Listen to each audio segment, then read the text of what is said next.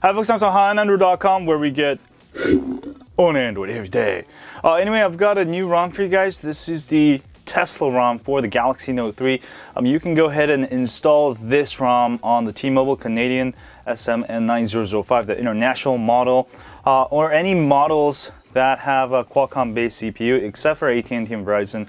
Obviously, because you have lock bootloaders, I would avoid them at all costs if you want cool AOSP ROMs like this. Now, this is an AOSP ROM running on the latest Android 5.1.1. Uh, you're going to lose all of your TouchWiz features. Your, your S Pen still works, uh, but you know you'll need to use alternative apps and stuff. Uh, but you can do pretty much basic writing and all that good stuff.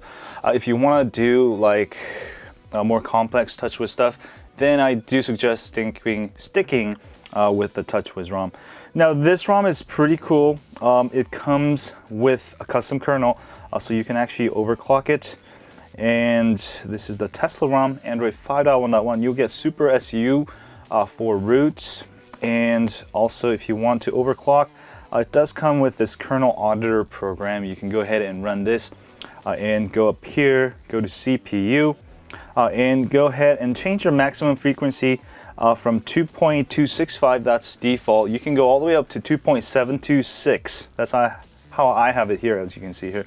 Uh, this will allow you to uh, overclock and get a lot more faster performance. On Antutu, I scored about, I think 45,000 uh, on that clock. So um, it's not a huge improvement, but if you play a lot of games, it could help. Uh, but without overclocking, it's fast already. So if you don't absolutely need it, I suggest actually just leaving it on uh, without overclocking.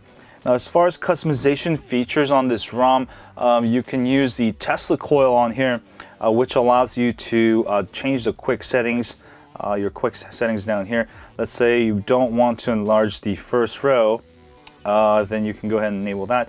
Show four tiles.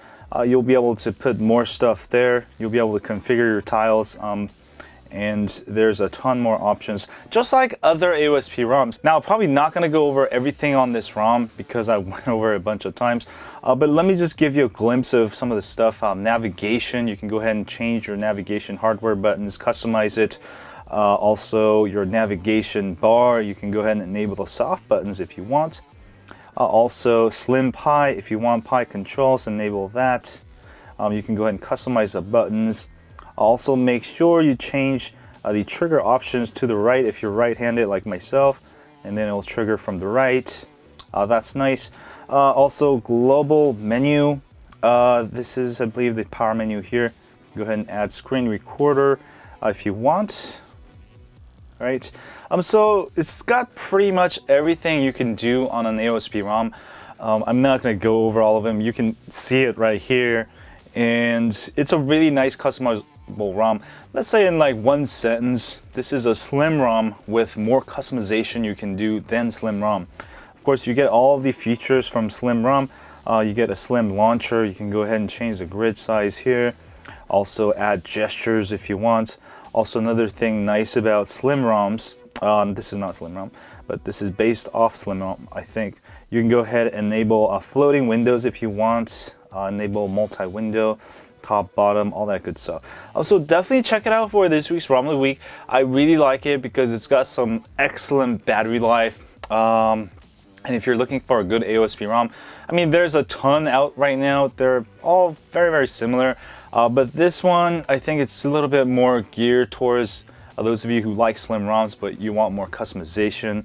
Again, this ROM is available for all the Qualcomm variants, uh, unless you have a locked bootloader like AT&T and T-Mobile. But do check it out for this week's ROM week and do let me know. And I'll have more uh, ROMs coming here uh, with TouchWiz this week for the Note 3, so watch out for that. If you're waiting for the TouchWiz ROMs, you can go ahead and make a backup ROM and try this, and then if you don't like it, go back.